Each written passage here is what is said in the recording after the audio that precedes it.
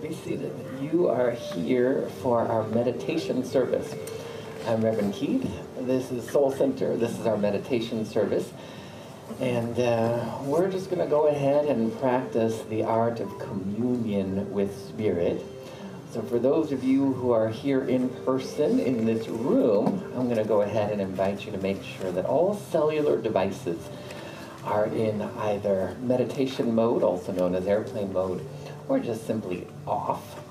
And uh, good morning and good afternoon and good evening to all of our love streamers who are streaming in right now. And if you are tuning in right now, this is our Soul Center meditation service. You might want to dim the lights, draw the blinds, uh, close the door, whatever it is, or put your device on Do Not Disturb. And uh, we're getting ready to move into what the mystics throughout all of the millennia have been doing from the dawn of time, and that is to be still and know that I am. And the I am is the presence of the divine, and the I am is the presence of your own beingness. And no matter what form or tradition or practice of meditation, even if it's unconscious meditation when we sometimes when we're exercising or you just get lost in a daydream or a pray dream, um, that's still communion with spirit, maybe not as an awareness, but as an energy. And so all of the practices from around the globe, no matter what the religion, no matter what the teaching, all meditation does promote communion with spirit the energy of the eternal back of all life, the very source, the beginning. It is actually the power of creation. And yet, when we are with it, it is still. But it is brilliant. And if you allow it to, it will dissolve all illusions of separation and it will open you to your magnificence. Make no mistake about it. All practices as you've heard me say before, whether it's a meditation of mantra or activation to a particular frequency of the eternal, the eternal frequencies, love, peace, joy, harmony, goodness, those never go anywhere. The temporal frequencies are what we're letting go of. And if we really, really want to take advantage of this as a spiritual opportunist, you'll allow the energy of transmutation to bring us back to our spiritual DNA, to our true nature. So that's what we're doing. And whether it's a meditation of mantra, whether it's meditation of activation, whether it's a meditation of stillness, which is what we'll be doing, or a meditation of movement, all of that has an intention built into it. And then there's the intention we bring. So any intentions you may have, I'm going to offer a couple suggestions. Some of those suggestions are, you'll allow this to be the most relaxing, most deep, most profound, most delicious meditation ever. And you'll allow that you will not be distracted by anything, nothing from the inner world, nothing from the outer world, if there are some outer noises, you'll just let them fade into the background. If there are any inner thoughts, you'll allow them to transmute into stillness. And, uh, and then the other intention I'm going to invite you to possibly entertain is that uh, you will allow your intentions to align with the desires of your soul and just completely relax. If you hear every word I say as we center, wonderful. If you don't hear a word I say, no problem. If you fall asleep, no problem. Uh, if you have some wandering thoughts, just allow them to move on by, and, uh, and the rest will be self-explanatory. Um, I think that's it. Oh, one more intention. All the channels, all the meridians of our physical, emotional, and mental bodies to be wide open to the eternal. That's what we're going to allow ourselves to experience. I'll center us. We'll move into the stillness. We'll come out in a wave of prayer. And then we will move on to our service. So welcome. Allow yourselves to get comfortable. The lights are going to go down as we go up. We are now ready to begin.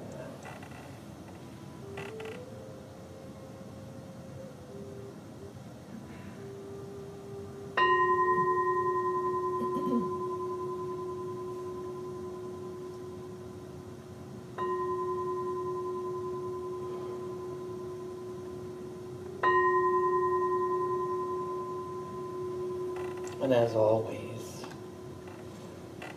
we begin first by giving ourselves permission to relax. Just saying to ourselves in our minds, I give myself permission to relax.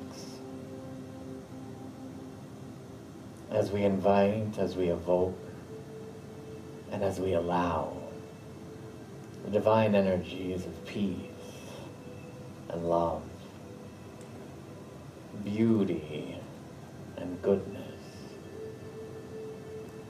serenity and calm to wash over us and to rise up from within us, knowing we have no place to go. There is nothing to do except completely surrender into the deepest states of relaxation,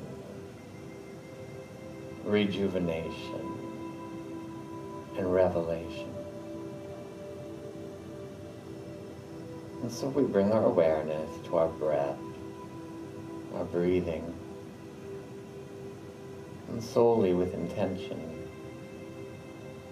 we intend to allow our breath to become fuller, deeper, richer, and wider. I just invite you to observe that soft, cool, tingling sensation as you inhale, whether you feel it around the inner nostrils or over your tongue. And as we allow the breath and breathing to become deeper, for the moment, we'll utilize the exhalation as the vehicle of release, transmutation. On the next exhalation, I invite you to imagine you are letting go of any tension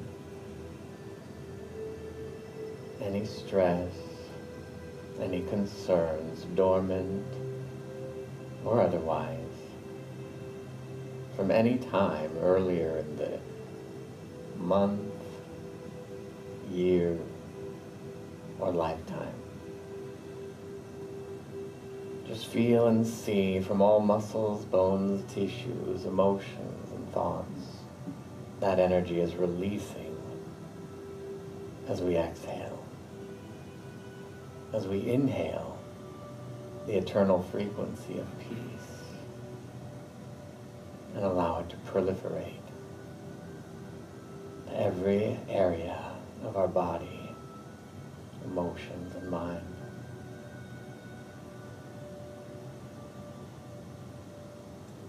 Exhaling, we let go of figuring and analyzing. As we inhale the energy of inspiration and clarity. Exhaling, we let go of efforting and trying. As we inhale the energy of ease and effortlessness.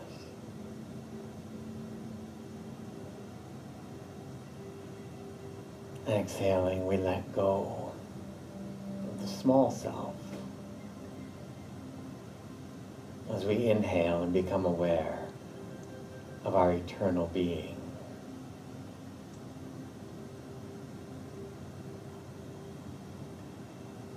And we let go of time. We let go of the past.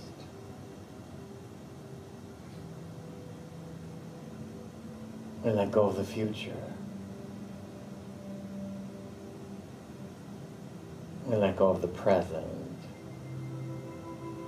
as we open fully and completely to the eternal.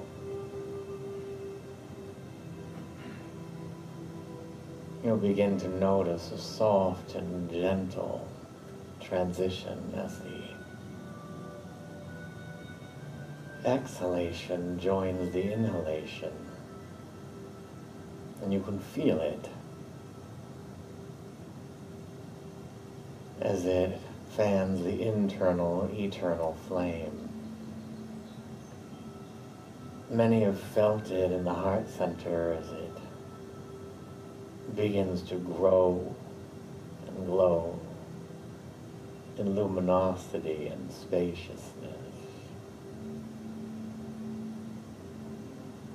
Each cycle of breathing taking us deeper, rising us higher, as you can feel a contagion, waves of light flooding your physical body with wellness, peace, and vitality. You can feel that proliferation of radiance. As you inhale, it comes all the way down to your toes. And as you exhale, you can feel it spreading. Relaxation and vitality into your ankles. You can feel it rising as though every cell in your body is illuminating from the inside out, rising into your calves and shins. Everything is softening, strengthening, revitalizing. You can feel it in your kneecaps, in the tendons, joints and ligaments presence, the power of the divine flowing through your hamstrings and calves. As the legs and toes and feet fully immerse in the lightness of being. That energy begins to swirl around the root at the base of the spine, the hips softening, strengthening, purifying. As a swirling light ascends through your root, divine strength, stability, oneness, rising into your lower belly and lower back as your sacrum opens to the radiance of balance and harmony. You can feel your spiritual DNA unmarred, unencumbered, as everything returns. Calm. You can feel the energy rising into your midsection, your belly, your adrenals, middle back, core, ease and effortlessness. And you can feel the energy of joy flooding your heart and chest, beauty in your shoulder blades. You can feel freedom in your shoulders as all density evaporates. We return to the beginning. And as that energy makes its way into your collarbone and throat, the back of the neck, you can feel elegance, and self-love. And that energy making its way into your cheeks, scalp, swirling around the ears, and tingling on the eyelids. The inner eye merges with the outer eye, the inner ear aligns with the outer ears. You can feel the energy on your crown wide open.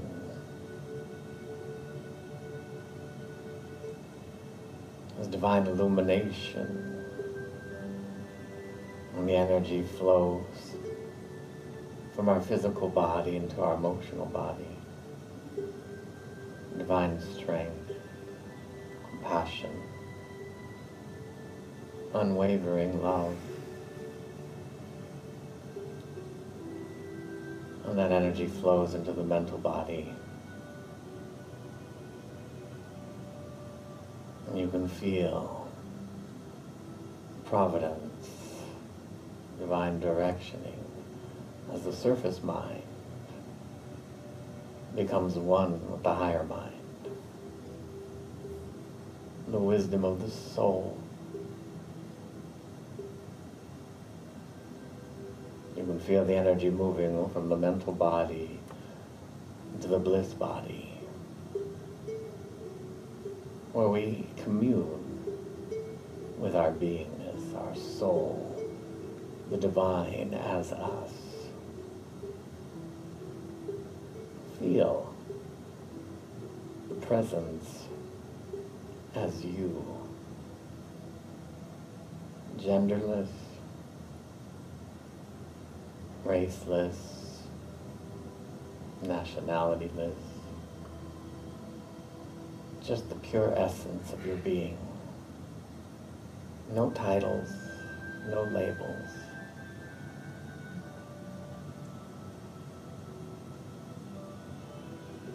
Feel the omnipresence of the divine, of our soul.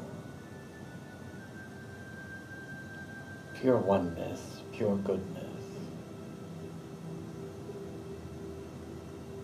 The power of creation. And it is here that we allow ourselves to go deeper and higher, to rest, rejuvenate, and relax in the stillness.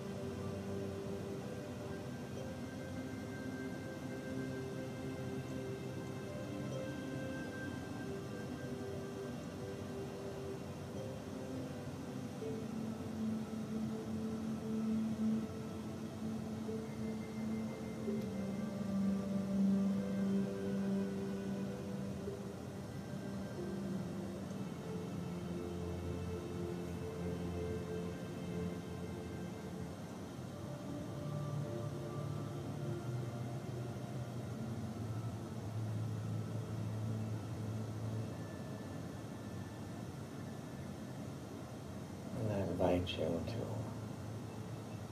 bring your awareness back to your breath, continuing to allow it to become fuller, richer, deeper, fresher. Even as we come back into a lucid state of divine awareness, we we allow the energy of our essence, the radiance of the soul, know itself, shine itself, be itself. We allow its magnificence, its strength, its clarity to have its way. We open to the infinite benevolent potentials and possibilities divine directioning as we acclimate to even greater good. I invite you to imagine. Imagine yourself standing barefoot in the most beautiful place on earth, whether it's in a garden or in a forest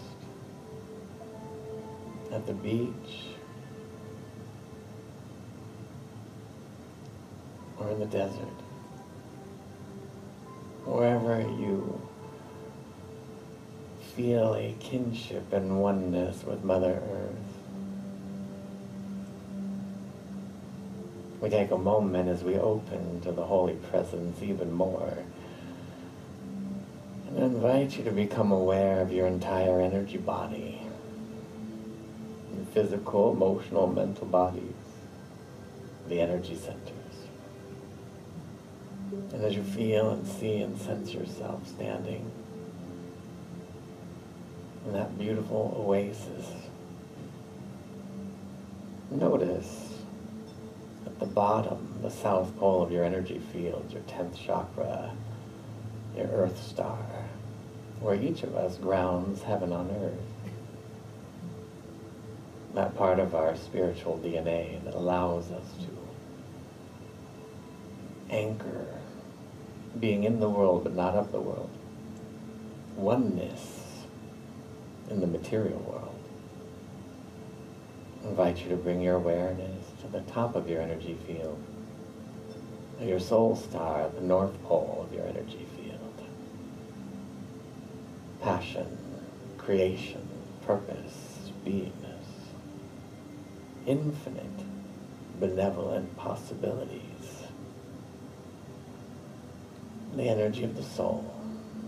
And on your next inhalation, imagine the energy as you inhale coming down from the source through your soul star, through your crown, through your heart, down your central core to your earth star. Aligning, grounding, heaven on earth.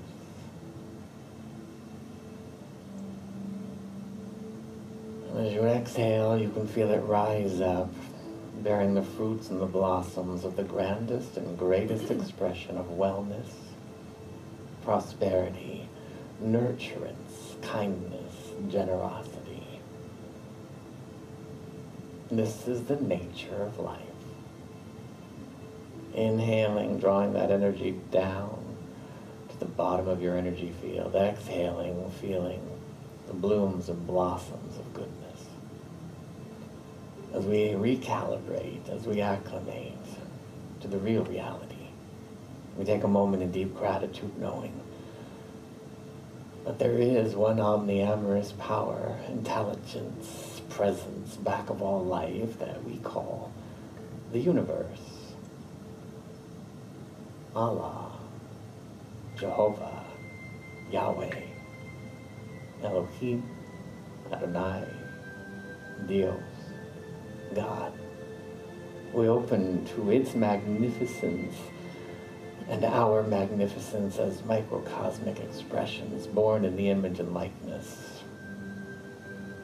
And I'm grateful to know by relaxing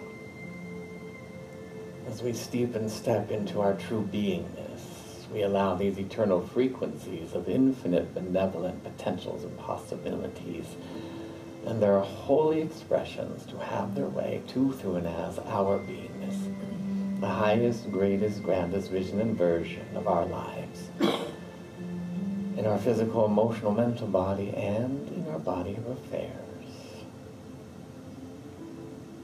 Our relationships aligned with kindness, reverence, love, and respect, generosity, and goodness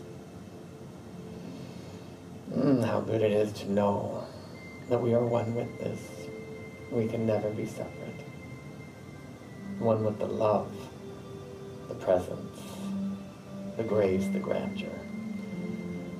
And as we ground it, as we embrace it, as we feel it in our arms and legs and organs and tissues as wellness, as prosperity, as goodness, as peace, we simply come back into a lucid state of holy awareness and we allow it to continue to expand. We do so in agreement simply by saying, and so it is. Amen. And whenever you feel ready, if you haven't already, you can open your eyes and just let it mingle and tingle into your bones and tissues, the integration. And uh, in a moment, the lights are going to come up. I want to welcome you back. Uh, love and live streamers, welcome back. We have finished our meditation service. We're getting ready to do our music and our message, which I promise you will be magnificent. We're going to take a few minute break if you need to use the restroom down the hall for those of you here. You know where it is at home. And we will be back in about three minutes.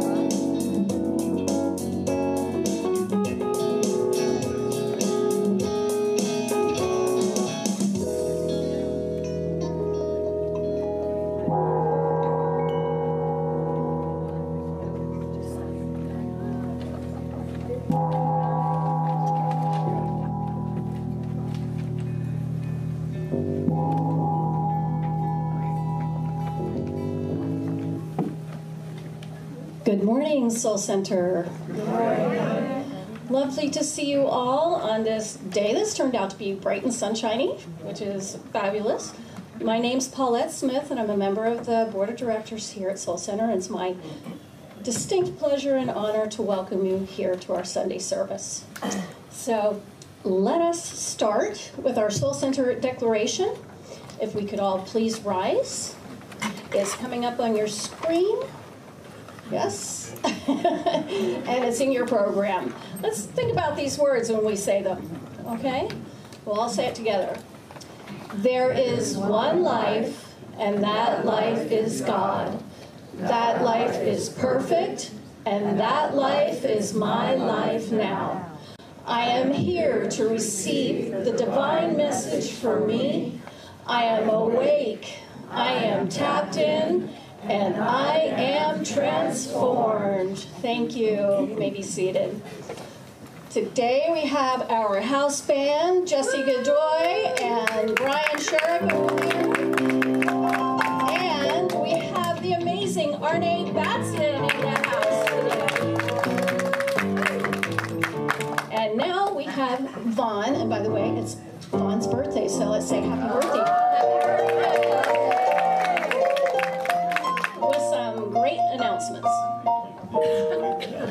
Good morning. Good morning, everyone. Uh, please remember to turn off the cell phones. Thank you. Thank you. Um, uh, Reverend Susie Lula from Agape International Spiritual Center minister and author will lead a five-week masterclass called Inspired Parenting Tools for Thriving Family. It's an experiential journey of the heart into the dynamic, transformative, and expansive world of parenting and caregiving, and what it means from a space of wholeness, joy, curiosity, and harmony. Sign up to receive emotional, mental, spiritual, and physical resources to transform your parenting experience. This master class emphasizes the real need of your own personal healing and growth as a parent as you simultaneously tend to the personal healing and growth of your child.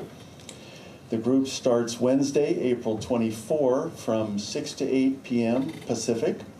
Register at, now I'm not sure if this is correct, um, Agape or it's soulcenteroc.com. Thank you. This was printed uh, with the other. Um, also, uh, Reverend uh, Lula's uh, book is now available in the Soul Center bookstore. The book is called The Conscious Parent Transforming Ourselves, Empowering Our Children. The inspired parenting classes are based on it. Diana Divine Lights, free in person polar party, was rescheduled to April 26 because of rain. Join Diana for prayer blessings by Soul Center licensed practitioner Param, refreshments by Lynn, and, of course, amazing music. This event is approved by, but not presented by, Soul Center. Please re reserve your spot on the new sign up sheet at the welcome table. Uh, confirmation of the new date reserves your spot and enough catered food. Please include your full name, email, and cell phone number. Next, we have some great news for some of you that might have missed out. Due to the cold and rain this weekend, uh, Reverend Keith's spring meditation and nature retreat was moved to Friday and Saturday, May 17 and 18. So, because of the date move, there is more capacity, just a few extra spots. Go, go to soulcenteroc.com for more information and to sign up. It's an amazing boat ride to the Channel Islands in Ventura County, walking meditation, and so much more. You won't want to miss it. Um, also, for more information, uh, go to soulcenteroc.com for more information about Reverend Keith's daily affirmative prayer. For Tuesdays, A Course in Miracles. Uh, also, uh, information about our soul circles, the weekly newsletter, and our after service fellowship lunch gatherings, and last Sunday's munch and mingle. All of that is available to uh, see more info at soulcenteroc.com. Uh, about volunteers. If you would like to help us do good for others and our community while getting a healthy boost to your self confidence and self esteem, sign up with our volunteer leads, Colleen Lavoie and Kathy, Kathy Loquette, as a regular volunteer. If I mispronounce those names, please forgive me. Um, you'll get a sense of accomplishment, life satisfaction, and some very cool social connections. Come be part of our team. And now, let's get up and join our band by singing and feeling our congregational song.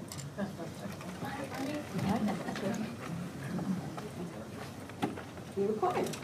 Yeah, Wow. Wow, wow, wow. Good morning, everyone. Good morning. Good morning. Oh, my stars. Um, I just got back from a month-long trip and walked in and saw it, Oregon. Leaps and bounds. Congratulations. Leaps and bounds. I also understand it's been raining in Southern California. Uh, I got a little bit of it on the 405 on my way in. Uh, but I want us to celebrate the showers. Let's celebrate them, however they come. Mm, let's all take a breath. I think you know this song.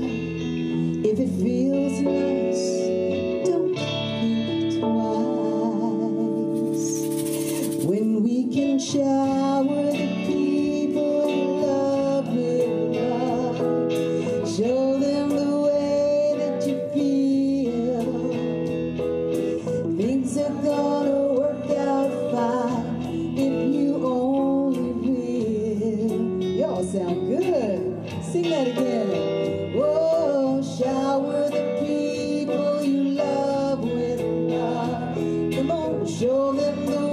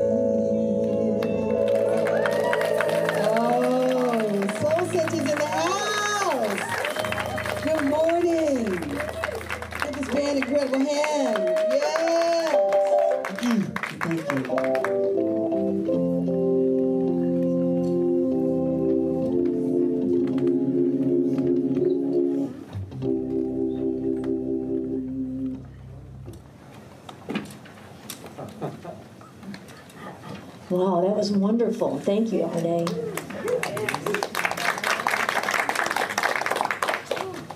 So good morning. My name is Mary Jane Blackwell, and our reading is from The Conscious Parent by Shefali Tsabary.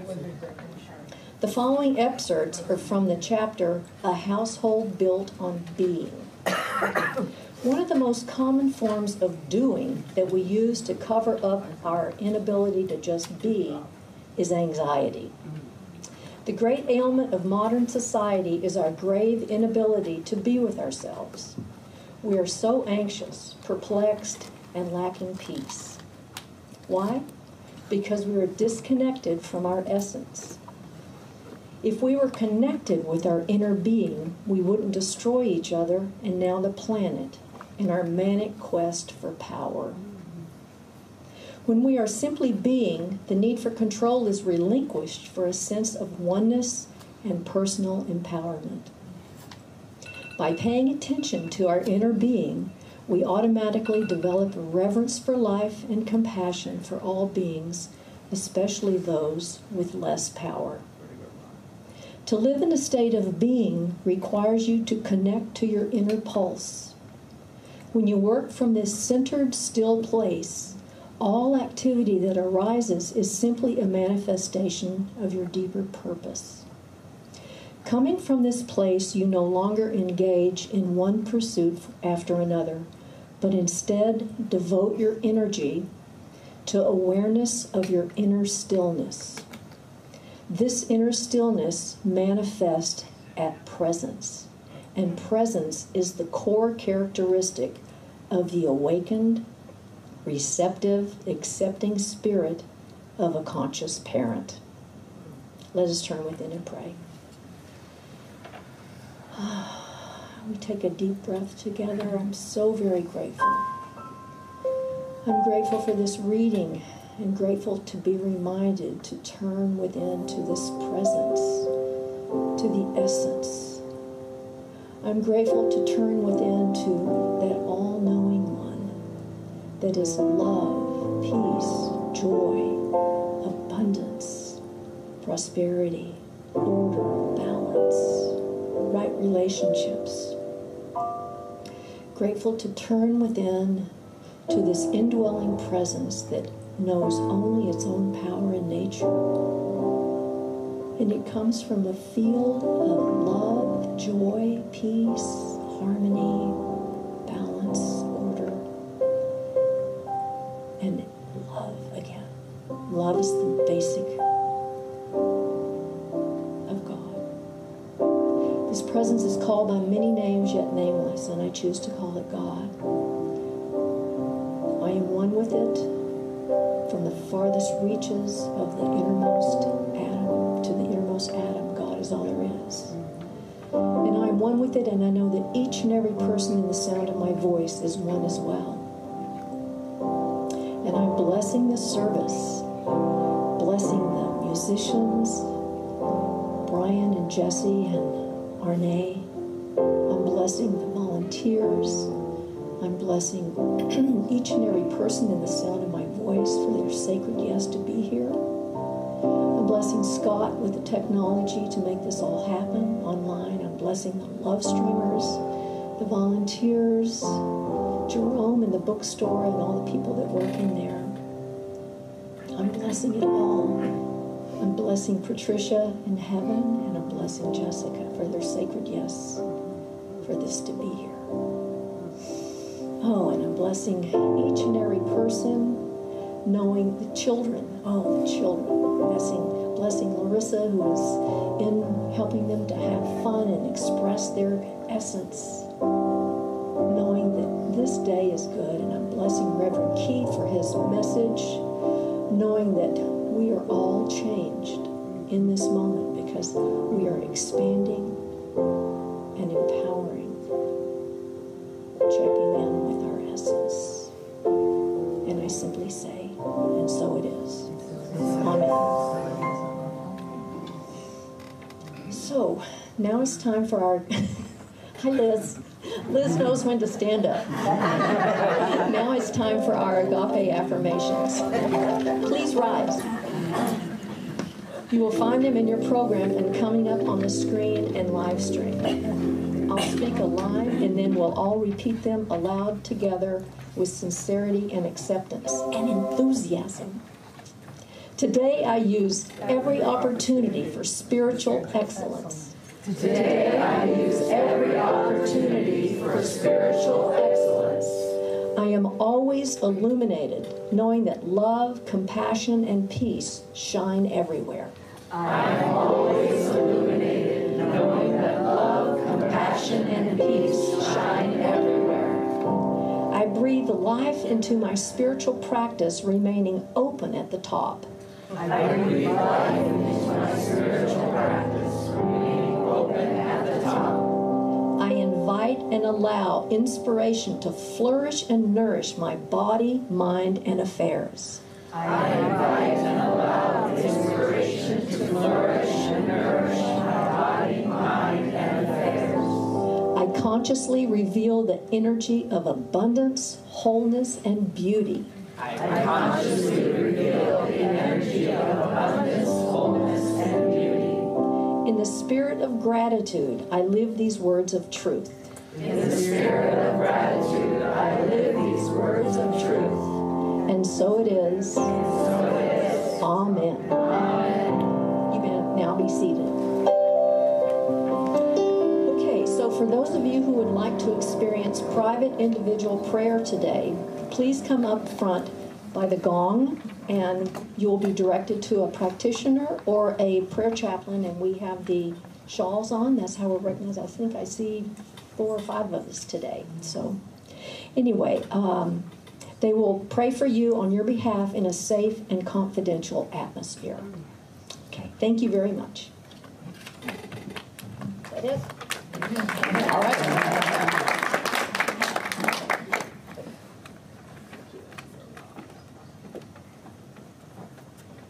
Thanks, Mary Jane. Oh, look, it's Greeks. I mean, wow. Oh, she's so sensitive.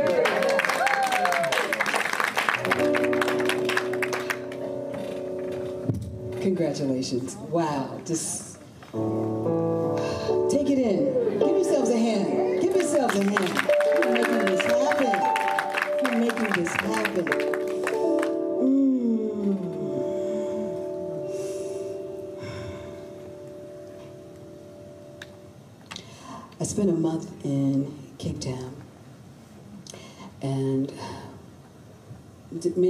places. Uh, one was a place called Volmud, which is a, retreat center. And it was so calm, so peaceful. There were roosters waking us up in the morning. And yes, there were baboons that would come up to your window if you weren't careful. Um, but it was such a serene environment, and I sang this song a lot. And so it feels just so appropriate to bring it to you. It's an old hymn. Used to sing it in my church on Sundays. Some of you may know it. Please feel free to join in.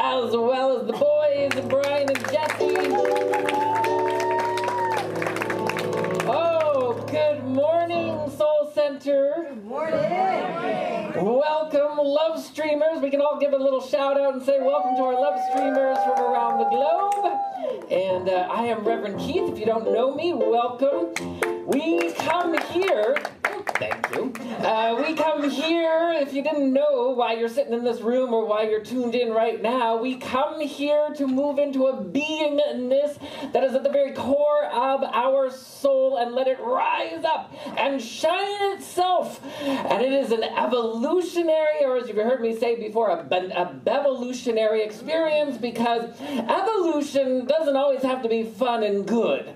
But bevolution, which is benevolent evolution, it is fun and good. And I'm here to convince you to say yes to a benevolent evolution of your human experience. Your human experience is all about letting go of personality traits and beliefs and ideas of the temporal world that are steeped in lack and limitation and opening to infinite benevolent potentials, possibilities, and your true beingness. That is what it means to be part of the Agape International Spiritual Center as a affiliate here in Irvine. And a personal invitation to all of our love streamers. We have one of our love streamers with us today, and we are so grateful to have Sina here. And if you come, Southern California and you want to uh, join us in person, you can find us right here. We'll give you a big warm welcome. So we would love to see you, love streamers. We've had people come in from Northern California, Georgia, and from around the globe. So we'd love to have you here. We extend that. And is there anybody here for the very first time? Anybody? We're all we're all seasoned. Oh. We've got a real live angel sitting with us. All right. Well, um, it, when you do come here for your very first time, we'll give you a proper. I just want to give you a proper welcome to our spiritual center, and uh, know that we always part of the tenets of our of our community is to see and know who you truly are. You were born in the image and likeness of God, and we choose to see that. As a matter of fact, we're going to invite it from you. We're going to call it from you. We want to see who you truly are, and as we continue in this month of raising and praising the bar, that's the entire journey of our human experience.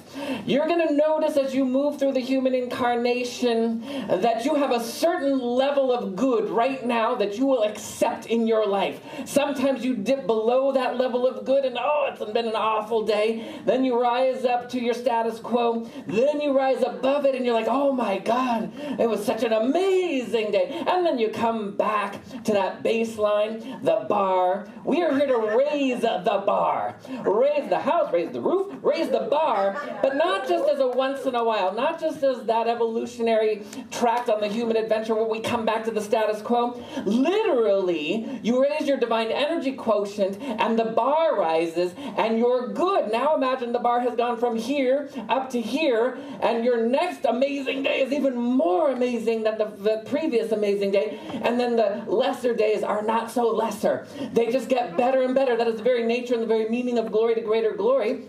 And in our spiritual community, the forefathers and foremothers of our movement, if you've heard me say many times, they were the ones who said, I'm going to explore the truth teachings that are scribed in all of the sacred texts from around the globe. We are an interfaith, trans denominational community, which means we honor the sacred teachings, whether it's Buddhism, shamanism, Judaism, Christianity, Islam, Hinduism, all of the sacred teachings around the world, but we put on our secret decoder glasses and we say, ah, I am going to move through the mire of misinterpretation and misperception. I'm not going to take things literally as it's stated in Scripture. I'm going to understand the meaning inside. I'm going to let it speak to me. Ooh, I'm going to let it arise in me. And I'm going to understand with full clarity what it means to be still and know that I am, what it means to be born in the image and likeness of God.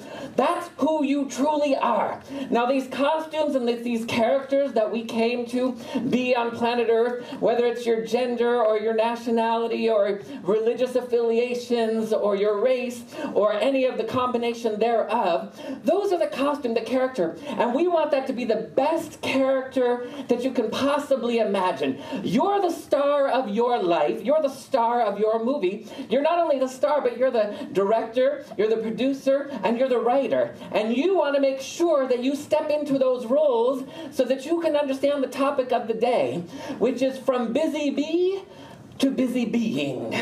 There's a difference. A busy bee is somebody who occupies themselves with a lot of things to do. I'm going to do this and do that. I've got so many things. I've even learned how to multitask. I can multitask. I can talk on the phone. I can even text while I'm driving. Some people, those are, you know, have you ever met the person? Oh, no, I don't do that. But secretly they're doing that. And it's like, no, we don't want to learn how to multitask. We want to learn how to multi-bask. We want to bask in the glory of a being. To be a bit, you want to get busy being means you're going to get to go deeper into who you are, who you really are. Does anybody here not want to know who they truly are? Okay, good. you, does everybody here want to know who they truly are? All right, yes. We want to know who we truly are. But being a busy bee is sometimes it's sneaky. It sneaks up on us. And you know, there's this aspect of life when things get overwhelming, when I feel powerless, when things feel hopeless, oftentimes people will use getting busy as a way to cope. They'll get busy doing things I know in the olden days, and still to some degree today. In the olden days, what I used to do when I got overwhelmed or had anxiety, and after I had maybe a little bit of a meltdown, I would then need to clean. I would need to organize. I would paint. I would organize drawers. Things that I probably should be doing, I wouldn't do because I had to do the cleaning or the organizing. And that was the way it was like, ah, because the human nature, our human nature, is that we want to feel that we have some sort of control over things. And when things are out of control, then one of the things we do is we go to do something that we can control. And as it was saying in the writing, that, um, you know, the, today, what most people do to avoid being and which creates anxiety, it's the very thing that will perpetuate anxiety, is they will do. And we do so that we can control. What I'm going to ask you to do is let go of needing to control. Now, this is nothing new. This isn't some brand new concept. But one of the things you want to be able to let do is let yourself do or experience is many people don't know what to do with their emotions. Their emotions bubble up. There's the powerlessness, the hopelessness, the anxiety, the fears that are predicated on some sort of victimization that something's going to happen to me, whether that's something going on in my financial affairs affairs, whether that's something going on in my physical wellness, whether that's something going on in a relationship with somebody we want to start to control it. So whether I overindulge in the physical world of doing, you know, sometimes with medical things, people really they dive into everything that I can do with whether it's pharmaceuticals or diet or this or that or whatever, which is there's fine, there's a place for that. But when you move into beingness, you'll allow your start to self to feel. And when I started to morph and grow through this, I became aware and observed, oh my God, God, I'm feeling overwhelmed. I'm feeling powerless right now. And so then I turned those things that I would do into a meditation. I didn't drop them cold turkey. If I was organizing something or painting something, I turned it into a meditation and I allowed myself to feel what was bubbling up within me. Years ago, I was working with a mom And uh, she was a single mom. She was raising a daughter. And uh, her daughter was moving into her teenage years and getting a little rebellious and things. And you know, sometimes in the teenage years, you're like, you know, you think you know what's going on. You know how the world works. You're the ruler of the roost. And sometimes that rebellion can show up as like, ah, yeah. And you kind of maybe don't want to have so much to do with your parents anymore. Well, that kind of snowballed and got away. And uh, the mom in this situation all of a sudden was experiencing a daughter who wanted nothing to do with her.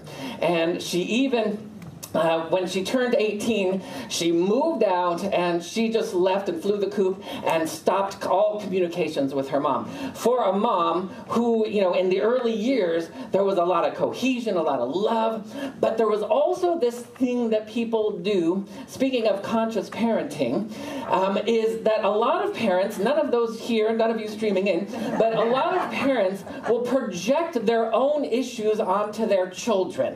Whatever they didn't get, or didn't experience as a child, they'll project onto their children and they'll try to make them follow what they think is best for them. Now, we all know that no matter what, whether it's your best friend, whether it's your child, whether it's your parent, whether it's your cousin or your colleague, just being there as a nurturing presence to allow people to feel nurtured and supported in being who they are, that's all that's necessary. But when we try to control, and so now I'm going to project onto my child all of these issues that I never dealt with, and so that controlling is what the daughter needed to get away from. And so she felt controlled everywhere she was in life. You got to take this class, you got to do this, you got to da da, and, I'm giving really good explanations as to why why it is so. And um, so she left. And the, the mother in this particular instance felt so absolutely crushed because her daughter was just the love of her life. And so she was so distraught. And so she that's when we got introduced to each other. And what she wanted was her intention was I just want a healthy relationship with my daughter. I just want her back. I want her to wake up and understand me. And I said, Well, you know what we're to have to do is we're to have to have you wake up and understand you, and then you will be able to bring forward that which you are seeking. And all of a sudden, lo and behold, those control issues started to come up, and all the trauma that they were attached to back to childhood from having lost her father at an early age and having to move into a place where there was hardly any money and hardly any resources, and a mom that was hardly there because of working, and the mom in that case was working to support her daughter. And unbeknownst to the daughter, there was just this feeling of abandonment, a feeling of not having people there to support you, which then leads to needing to control things. We got to break the cycle of needing to control things, and that means we have to let go of being a busy bee and get busy being. You have to allow yourself to be still and know that I am. You have to allow yourself to be still and go deeper into an experience where you can understand the uh, what Rumi says when she when Rumi says, "Raise your words, not your voice, for it is rain that glows, grows the flowers, not thunder." And the thunder was coming as all of these words of having to control stuff. And when you hear "raise your words, not your voice," many people might think, "Oh, raise in so that you're speaking." We want to bring it into the vibration of when you speak your word. Now, you need in order to speak your word about something, you need to know what the something is. And that is where you have to allow yourself to be, as you always hear me say, benevolently vulnerable. We live in a world today with social media and with everything that's going on, and immediate gratification that caters to busy bees. And we, as we allow ourselves in our community to be busy at being, means you're going to give yourself time to sit.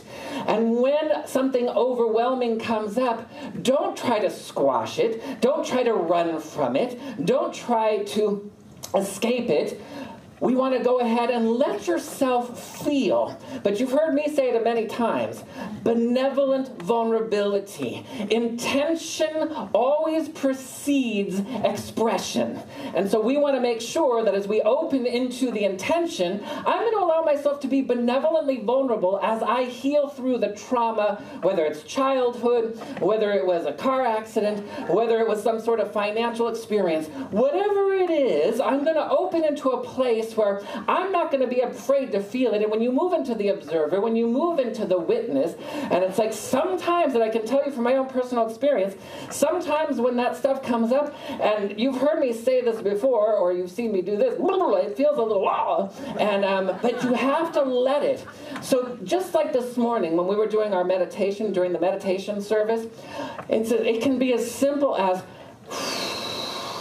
I am releasing this temporal energy of powerlessness, worries, doubts, and fears Oh, and I am embracing the divine strength, the power within me to go deeper and higher into a feeling of knowing I am the beloved in whom God is so pleased. We want to go deeper and make sure that we connect with our beingness. Beingness is the entirety of the point of your human experience. It is to go deeper into a feeling of knowing that I am as thou art, thou art as I am. What does it mean to be in this world but not not of this world. And that means there's going to be a constant evolutionary impulse that is calling you to address whatever's going on. Everything in your temporal body, everything in your pain body, trauma body, everything in your human energy field that is unlike the eternal frequencies is going to be naturally asked to transmute and so, what we're going to do is, even if you're going through a challenge, which is going to require you to lean in to some medications, even if you're going through a challenge, that is going to have you go seek nurturance and support in some way or another. Sometimes people are going through a challenge that's going to have them lean towards some sort of antidepressant or something of that nature. Even as I'm doing that, I'm going to call forward an knowingness, an awareness that allows me to transcend and not need these things. We want to know that you are the chief evolutionary officer, the CEO of your life, that says, ah, I'm going to observe what is going on in my life. I'm not going to make it heavy. I'm not going to make it bad. I'm not going to make it wrong. But I'm also not going to let it make the decision.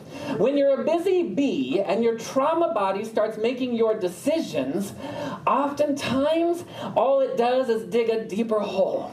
You are to rise up out of that. The beingness comes when I'm still and I say, oh, okay, here's the erroneous conception, the erroneous idea, the erroneous belief that has led me to want to do these things that are not for my highest good. Oh, I'll just observe that. I will surrender that. I will give unto Caesar what is Caesar's, and I will allow myself to go deeper into knowing I am the beloved and I am empowered. We know in our community, we say all the time, God is omnipresent, omnipotent, omni omniscient, omniamorous, Omnipresent is everywhere. Omniamorous is all loving. Omnipotent is all powerful. If God is everywhere, then God is alive in you. You marry that with being born in the image and likeness of God, that means the omnipotency of the universe indwells within you. You have the power to transcend, should you use free will and free choice to choose it so.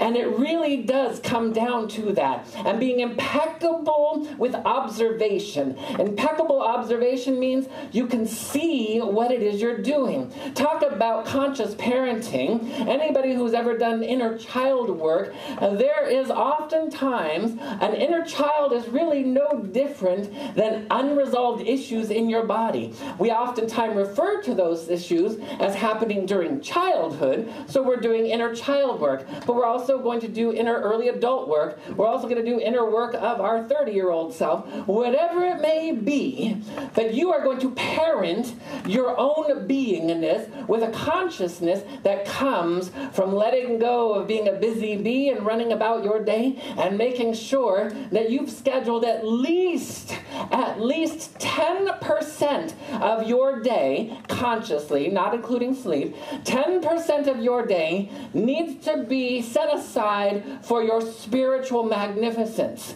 That means you need to spend some time in meditation in prayer. And then you're going to start to notice things where all of a sudden, in the early days, as I was mentioning, And when I was suffering from the anxiety and all of those experiences early on, and I started to cope with things, and I did, I did lean towards medications and things of that nature because I didn't know what to do until I found our teachings. And when I found our teachings, I was like, oh, here are the tools of true empowerment. Here are the tools that allow me to access and tap into the divine presence within my own beingness so that I can get busy being me. We want to turn and allow that. There's nothing that prevents you from setting an intention. Most people, when they do go into medical procedures, one of the things that I've heard, and you, you'll hear from soup to nuts from anybody to talk to, is that sometimes they get a very nurturing group of people that are helping them in the allopathic medicine, and sometimes they get people who don't seem to care. That's going to give you a clue right there as to what's going on in the subconscious, where I'm going to start to cultivate I'm choosing to be nurtured and empowered and filled with kindness and compassion and receive my good as people bring forward my good. I'm going to allow myself to set an intention that returns to me fulfilled. Fulfilled kindness, fulfilled goodness, fulfilled prosperity, fulfilled cooperation. You have to allow yourself to acclimate to that. You have to allow yourself to rise into your beingness right now. Your spiritual DNA and you've heard Reverend Michael say this a million times the presence that is never an absence when we're referring to the divine. It is present and it is never absence. Your presence is never absent. The presence of your higher self is never absent. You carry with you the kingdom of heaven everywhere you go, it's in your spiritual DNA. When we move about beyond the temporal world and we say, ah, I'm going to center down and allow myself to feel the presence of me. Feel the presence of you and allow yourself. As a matter of fact, I'm going to encourage you in your meditation. Let see what it looks like if you could imagine yourself sitting there and all of a sudden your name floats and it's just floating up here and you allow yourself to experience an attachment to your name. Then imagine your gender kind of floats up and it's over here and you can experience not attachment to your gender, then your race, then maybe your nationality. Allow all these things to live lift. We're not getting rid of them. We're not making them bad or wrong because they're delicious and good when things are put in the proper order. When your pain or trauma body is clear, then you get to experience charm. You get to experience charisma or riz, as they're saying these days. You get to experience being in the world but not of the world. You get to experience the actuality of your own beingness. So as you allow those things to lift off, then you can start to tap into who you truly are as a divine emanation of the Most High and really understand, like, oh, wait a minute. A lot of people in our spiritual community say, oh, yeah, yeah, I understand that. I believe that. Uh, yeah, that, that sounds true to me. But we aren't here to understand an intellectual awareness of spiritual truth. We're here to embody it. It's very frustrating to understand spiritual principle, to to understand what you are supposed to do in order to cultivate that and then actually experience it. That means you're going to start by allowing yourself to say, okay, show me my spiritual practice. Show me who I truly am. Show me the presence of infinite glory in my life. We have to invite, evoke, and allow these things to be. We want to remember that being is doing something. A lot of people don't like to be still because they feel like I'm not doing anything. You're actually doing the most powerful thing you can do by being. There is no separation of doing and being in the divine. The omniactivity of God, which is orbiting the planets right now, which was dropping the rain, which was floating the clouds, it does not effort or judge or try in any way, shape, and form. It just is, and it is glorious. So as we surrender to that aspect of our nature, then the serendipitous energies start to show up. Oh my goodness, you're just consciously participating in your human evolution, doing so joyfully, gracefully, beautifully. And I've shared this before, but in the early days when I was starting to do a lot of this work, there was a lot of arduousness. As a matter of fact, I paid $2,500 back in 2005 to go on a spiritual retreat for five days where we stayed in one of these retreat centers. I don't know if any of you have ever stayed in one of these retreat centers where it's kind of like the sheets were more firm than the mattress. Um, the room looked dirty, but it was clean.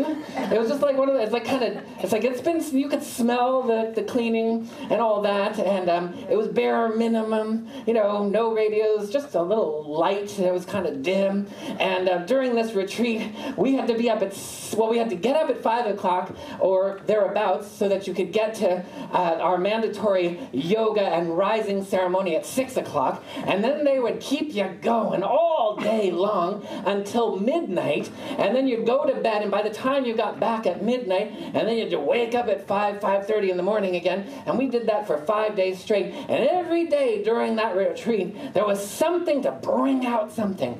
Now, there is this phenomena that when you are exhausted, you will break down. You will be too tired to be a busy bee. You will be too tired to do things, and all of a sudden, in your exhaustion, you become vulnerable. And that's the practice that they were using. We're just going to basically keep you so busy that as we bring in these spiritual practices, you won't be able to ward them off because you're just too tired. And it actually, you know, was kind of fun, but I seriously needed a big vacation after that retreat because I was exhausted. Now, it was fun in certain aspects. They had things where we had to climb up and to face our fears of heights. things Thankfully, I don't have one. Um, we had to do things where you know you had to be attacked and be choked and la la la, all these different things. It was wonderful, except that that sleep deprivation. Life will give you that workshop for free. it will give you that workshop for free as long as you avoid benevolently evolving. I don't know if any of you have ever experienced, but back in the day when I suffered from panic attacks and anxiety, I would have many a sleepless night. And it was after some of those sleepless nights that I really broke down. I could have saved myself $2,500. Um, but I met some wonderful people. Um, so you can let life do that approach, or you can go for a slightly more benevolent approach. You lean into your spiritual practitioners, you lean into the chaplains, you lean into your spiritual community, you lean into yourself, you set high resolve intentions, you say, Yes, I will allow myself to know myself, see myself, love myself as a divine emanation of the Most High. I'm going to seek the best, and while I'm doing anything of the temporal world uh, that is just a crutch, it's just something that I'm going to use to get where I'm going to experience wholeness, I won't make it bad or wrong. And I'm going to consciously call forward, and I'm going to allow myself. This is one of the things that ended up happening. Whereas before, I would have done anything to avoid feeling something. I just said, let me feel it. Oh, okay. And all of a sudden you'd feel some, some emotions, and those emotions are attached to a belief, and the belief is what is bringing about all of the discomfort. So you're going to allow yourself to feel a little uncomfortable. There's a difference between discomfort and uncomfortable. When you allow, when it's di- un, when it's discomfort, oh, and I might go into a fight or flight response, and I'm going to crap down, and I'm going to I'm going to try to find things to do. When it's uncomfortable, sometimes when you're moving into good, it feels a little uncomfortable. But it's a delicious dis- uncomfort, uncomfort, not discomfort. It's a delicious uncomfortable experience, and we're going to say yes to that. It takes used to more good. It takes getting used to being, feeling more good. And I can try, I'm going to, hold on, scan, scan, scan, scan, scan, scan, scan. Okay all of us have a little room to grow. Um, I was seeing, is there an enlightened master in the room that is living in bliss, in nirvana, that is being of service 24 Oh, yeah, I'm scanning live streams too. And um, if you are blissed out of your gourd, if you have clarity and never confusion, if you have vitality and never sadness, depression, or lethargy, if you are serving others and it never feels like, oh God, like when are they going to stop asking me for help? If you are going to just be, you're going to be busy being in your true nature, to be in the world but not of the world. Oh, then when you've reached that point of mastery, everywhere you go, you'll feel freedom and spaciousness and timelessness and goodness and the presence. The presence of the divine, not as some external energy outside of you, but as you, as your very beingness. I want you to imagine what that's like. My eternal beingness as a ray of sunshine is to the sun, you are that to God. Whether we call it Allah or Jehovah or any of the other names, we open to that presence of you. And you allow yourself to identify more with your beingness than your doingness. And we say yes to that. So, all of us, it'll behoove us all to say, oh, okay, I am going to set the stage in my own personal at home workshop where I am, oh, I'm feeling a little powerless. Hmm, what am I going to do about that? You're going to just let yourself be. You're going to breathe in. What does it mean? Now, oftentimes when we feel powerless, all that means is that I believe I'm something is against me. And we can feel powerless over what's going on in the Middle East. We can feel powerless about what's going on in, uh, in Asia. We can feel powerless what's going on in Europe. We can feel powerless what's going on in our own backyard with certain events.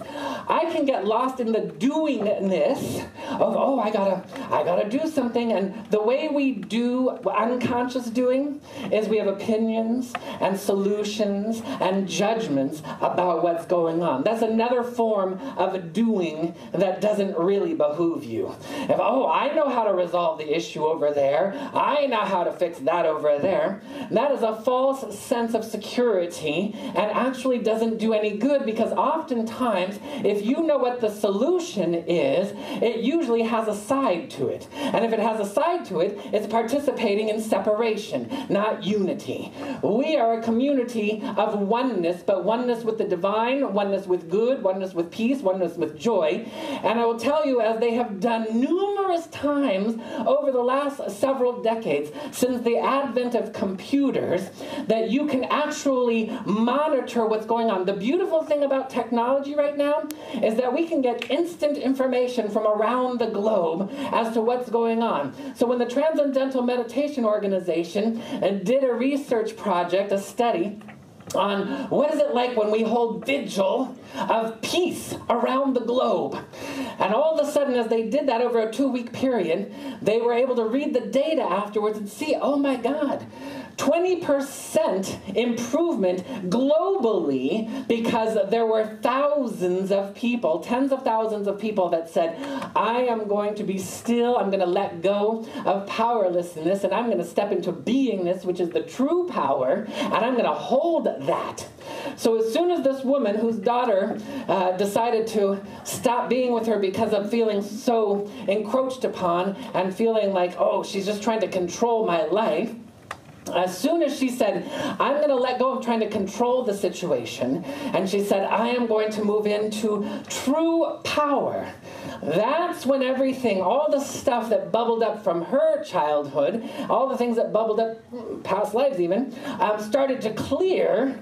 And then when that need to control the daughter was gone, that ripples out across uh, the, the divine matrix. And since we're all one, the daughter all of a sudden feels like, oh, it's now safe to not be controlled and makes her way back unsolicited into a relationship with her mom. That's the kind of stuff we do here. We, you know, one of the things that it's very tempting, this is a get you behind me moment. It's very tempting. Oh, you got to do this, you got to do that. It's very tempting. I used to be the biggest DIY person you can imagine. Do it yourself healing left and right by doing all kinds of crazy things. And when you say, ah, I'm going to be still and hold a space. Oh, and sometimes you'll just get glimmers.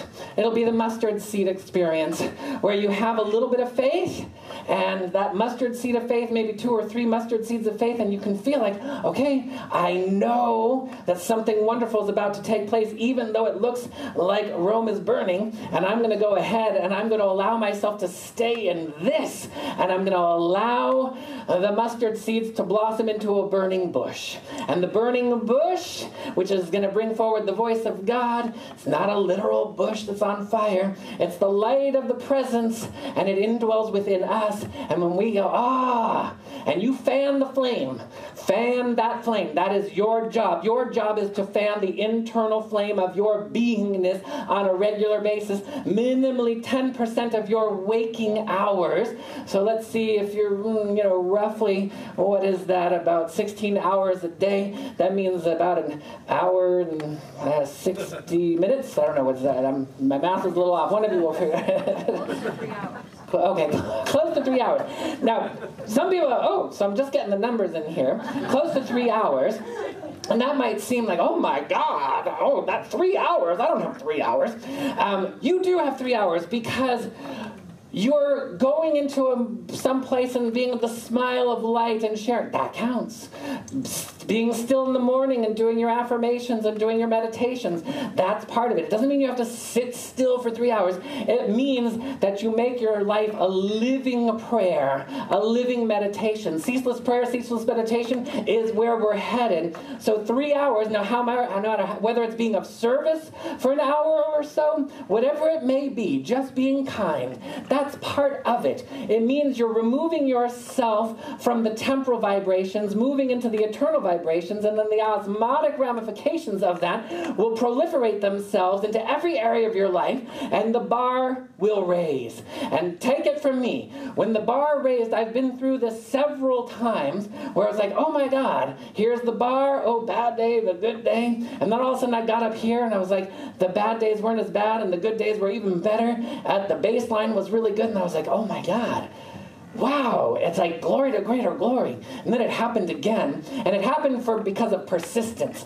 We're not a community of status quo, we're a community of status glow that says, I am going to raise the bar. You praise and raise the bar. So we're all in agreement. We're all going to praise and raise the bar. Yes? Yes. Love streamers, yes? I'm gonna, you guys can say yes on that. And, um, and we're also going to say, yes, I'm going to relinquish being a busy bee. I kind of, I thought about it and I was like, oh, I love bees so much. They kind of get a bad rap. We love the bees. As a matter of fact, it's ironic because bees aren't busy bees. They're all, if you look at the bee kingdom and queendom, really, I guess, um, they're all cooperative. Right. They all cooperate with each other. They cooperate with the flowers. They cooperate with the hive. They, that's, uh, so it is a little bit erroneous. But nonetheless, we're going to go from being a busy bee to too busy being. Yes? Yes. All right, we've taken that oath. We are going to evolve and we're going to go into the prayer field right now. And anything that distracts you right now, anything that you are allowing yourself to keep you from the evolutionary impulse of your own essence, you're going to let it go.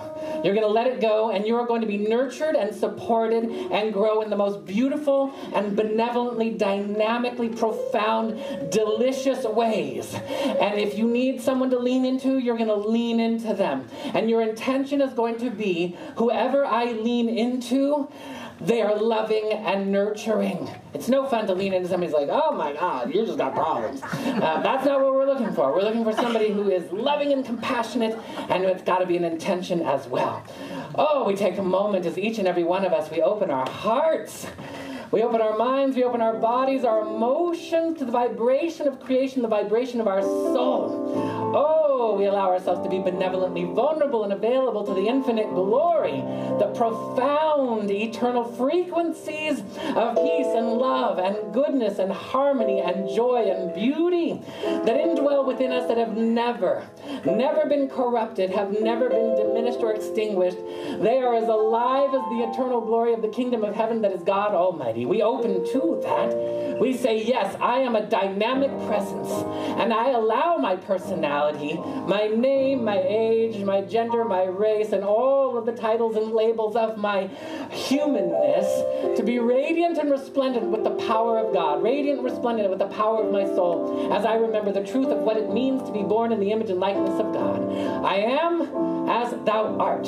I am as God is, not in a boastful way, but in a humble way, as I remember the truth of my dynamic, eternal nature. I shall be in the world, but not of the world, and any trauma or drama of the temporal world I let rise up in elegance, in grace, to be free, that I may be free in this life free to charm, free to praise, free to raise.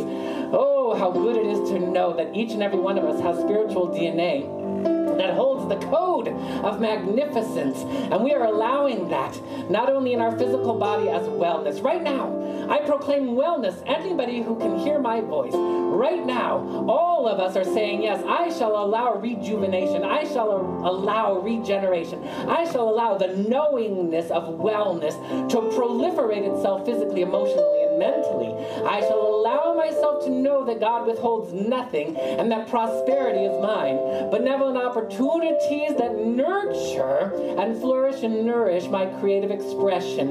I choose to know that we do not earn in God, we allow. We invite, we evoke, we allow, and I allow myself to be paid just for being me. Oh, how good it is to know that sacred, holy relationships are ours right now. These relationships that nurture are filled with kindness and love and reverence and respect. Oh, we allow it everywhere. We allow it everywhere. We say, Yes, I will be overwhelmed with kindness, overwhelmed with goodness, overwhelmed with joy, overwhelmed with self love like never before.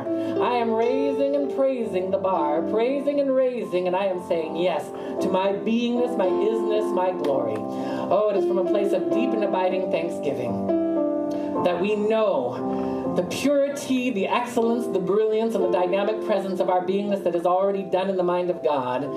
We allow it to be here, and we allow it to be now, and we allow it to be good, and we allow it to be so. And we do so by saying, And so I let it be. Benevolently, gloriously, now. And so it is. Amen. Amen. Amen. Ashe. Aho. Mahalo. Shalom. Hotep.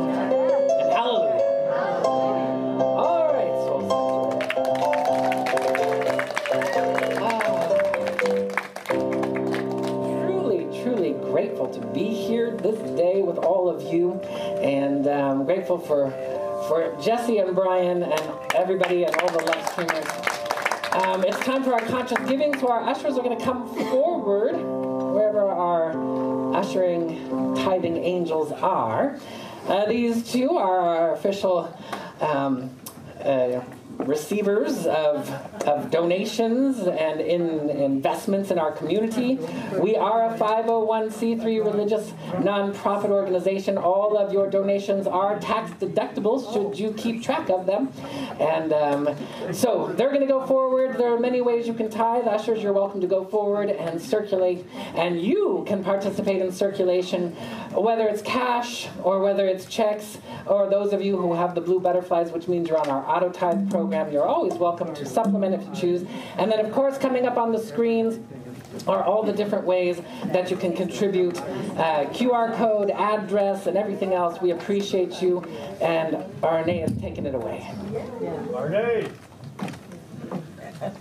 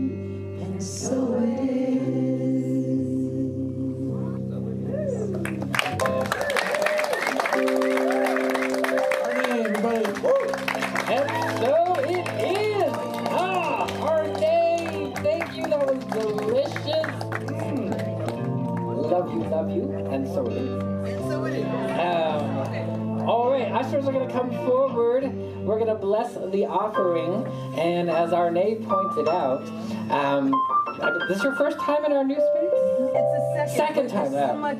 Oh yes, from because you were right here at the very beginning, and um, with our new expansion to our children's community and things that are keep going, we're truly grateful for all of you who are making this possible through circulating and tithes. We are truly grateful. We're going to bless this offering through our hearts and our hands. We take a moment in prayer, recognizing there was one power, one presence, and one supply. Make no mistake, the supply of air and oxygen, the supply of finances and freedom, the supply of wellness and goodness all comes from the one power, the one presence, the one source, and that is God. And it indwells within us, and we say, Yes, I am born from the holy heart, the holy mind of God, and I bless. As God blesses, I bless. We are the conduits, the harbingers, the angels of the earth that bless. We live from a radiance of blessing, and we bless this offering, knowing that it does not leave a finite supply from an individual. It leaves from a place and circulates and expands, returning multiplied. We bless it so, we know it so, and we allow it to grow and glow even more. We see this individually and collectively as Soul Center thrives, all thrive. As all thrive, we thrive. We say yes to the thriving nature. We allow it to be from our beingness, and we simply agree by saying, and so it is. Amen. So just and our, our number crunchers and our accounting department gave me the well, for some of you this is going to be good news. It's not three hours based on the time. It's an hour and a half that you have to. That would be the 10% equivalent. But I think the universe was like, no, it should be three hours. Um, and that's why we had that. So um, that could be good news to some of you. But remember, we're going to go to 24/7 is what we're, hap- we're what we're going towards. Um, the children are coming in in a minute. I just want to have practitioners and chaplains, if you could rise for a moment and just let people know. Um, those who are wearing shawls, whether they are blue or kind of that olive sateen, um, they're available. They'll be up here if you want to experience personal, confidential prayer. Even if you just go and say, you know what, just pray for me. And you don't have to give them a prayer request, or you can say, my prayer request is such and such. They'll take you into a private place. We're thankful and grateful for all of you. And now the children are coming in.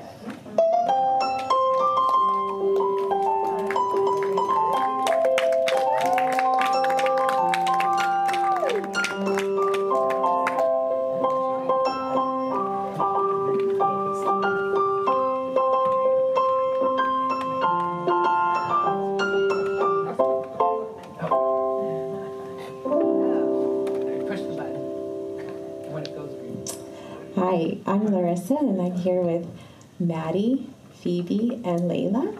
These girls are awesome, and today in our today in our Enlightened Kids Village, we talked about the idea of I am connected and how the nature of God is always present. We learned a big word, omnipresence, to learn that wherever I go, I'm there, and God is too. And we also talked about the children did a connecting the dots activity in a show to show that sometimes you don't know exactly what God's trying to do. Wow. And it might look a little different than you thought. But if you follow your connection to God's guidance, there'll be something maybe even better than you thought. And then Maddie wrote some ideas about connection that she would like to read as well. All right, Matt.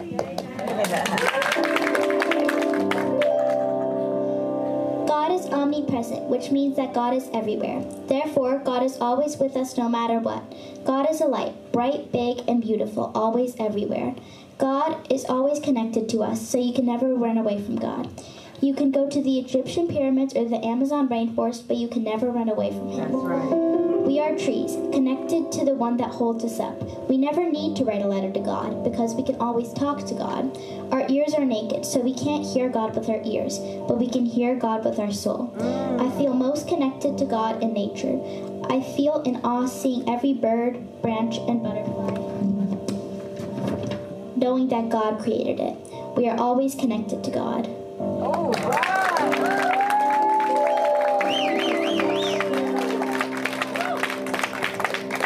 And so it is. Thank you.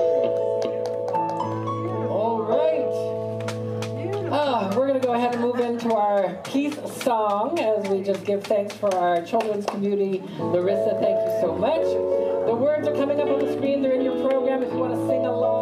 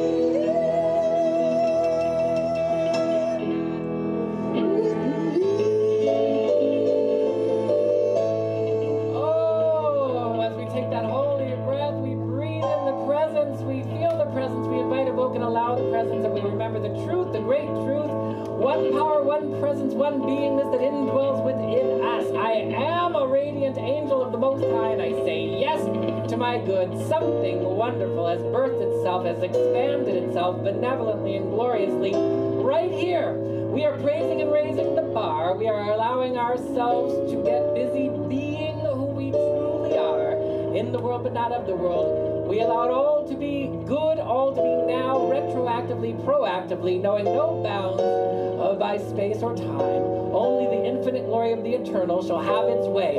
I rise into more wellness, more goodness, more prosperity, more joy, more sacred, holy relationships, and I allow it to be by saying, and so it is. Amen. Oh, all right, Soul Center Love Streamers. Tomorrow, daily affirmative prayer, 9.30 a.m. on Zoom or on Facebook, Soul Center's Facebook page. We'll see you there.